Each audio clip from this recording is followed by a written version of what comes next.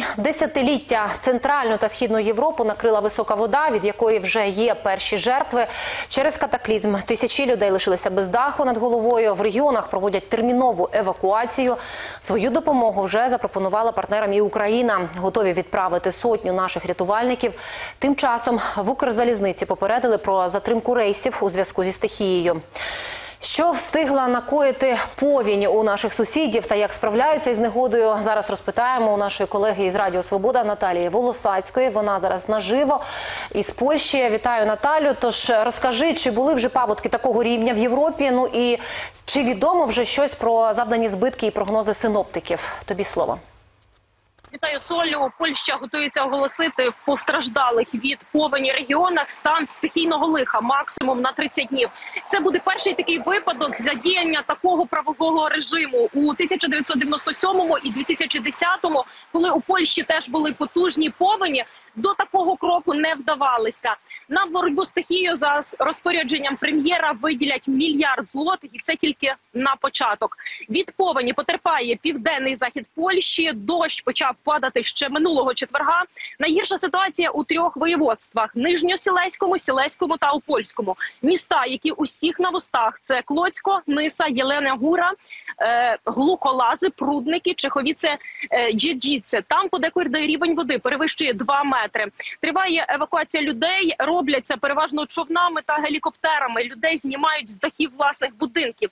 У кількох воєводствах скасували навчання у школах і дитсадках. Залиті локальні дороги у місті Ниса. Вода за лічені хвилини затопила лікарню. Довелося евакуйовувати майже сотню пацієнтів.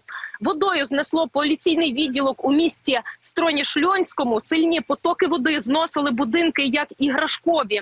У місці Катовіце е, затопило торгівельний центр у глухолазах. Зруйнований міст у підтоплених районах. Немає електрики, мобільного зв'язку. Людям, які потребують евакуації чи іншої допомоги, радять вивішувати прапори чи шматки тканини червоного, білого або блакитного кольору. Урядовий центр безпеки попередив людей у затоплених регіонах е, пити лише бутильовану воду, бо водопровідна чи з криниць може бути непридатна. У декотрих місцевостях люди інформують про брак хліба і води. У Варшаві у кількох місцях організували збір їжі, води, засобів гігієни для постраждалих. Ми зараз біля одного з таких пунктів. Це станція фільтрів і трубопроводів. Тут робота кипить, постійно під'їжджають легкові автомобілі, мікроавтобуси.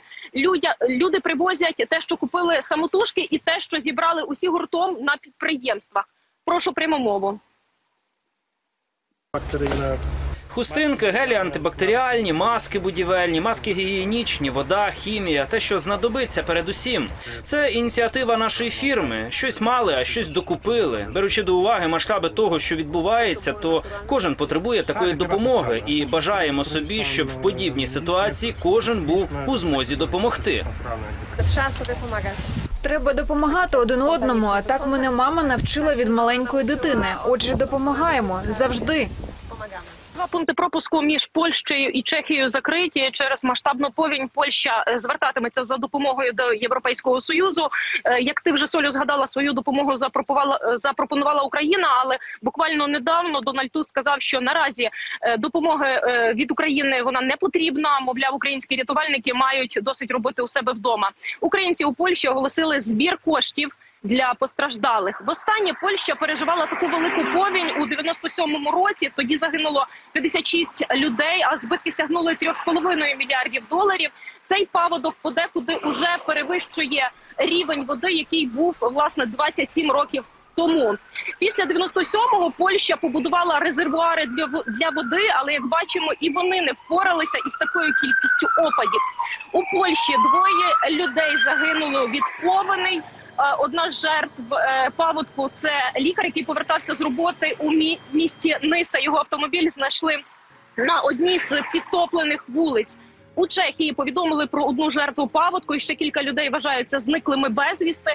Рятувальники оприлюднили відео порятунку трьох дітей віком 10-15 років у місті Броумов на е, північному сході. Їх знесло водою, і діти очікували допомоги, тримаючись за гілки дерев.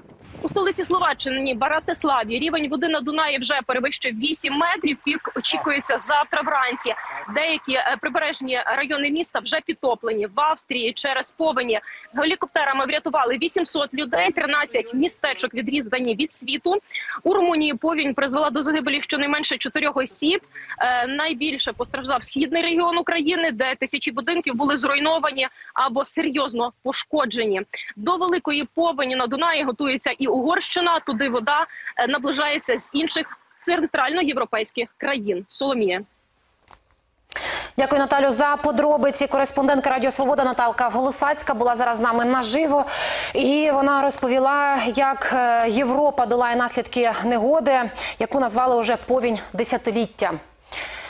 І щодо загроз від європейської повені, за прогнозом ТСН звернулася до українського гідрометцентру, і там пояснили, в Україні їх немає. За що маємо дякувати за засушливому літу.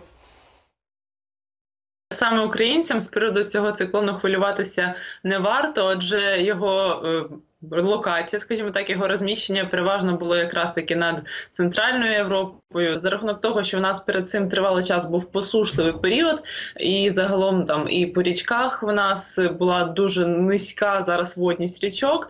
То е, всі підйоми, які спостерігалися, наприклад, ну переважно за гірські річки, е, вони не були в межах русел і без негативних наслідків. Починаючи з середи, вже буде більше переважати погода без опадів практично в усіх областях. Пориви вітру до 22 метрів за секунду на Дніпропетровщині. В обласному центрі деревопад, гілки та стовбури падають на авто, дитячі майданчики, тротуари, блокують шляхи.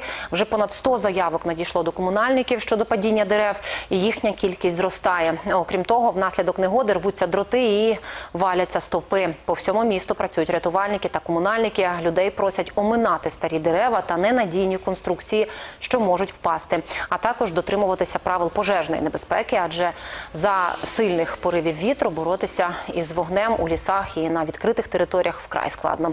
Уже палає лісосмуга біля Кам'янського, а вогонь підібрався до бази відпочинку.